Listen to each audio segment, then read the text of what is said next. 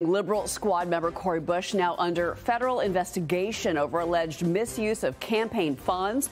The Missouri Congresswoman reportedly spent over $756,000 on security services since the 2018 election cycle, a luxury that she has long defended. Watch. I'm going to make sure I have security because I know I have had attempts on my life and I have too much work to do. There are too many people that need help right now for me to, to allow that. So if I end up spending 200,000, if I spend 10, 10, 10 more dollars on it, you know what? I get to be here to do the work. So suck it up and defunding the police has to happen.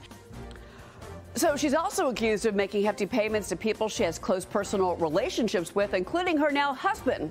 Cortney Merritt, the congresswoman blames right wing organizations for the probe.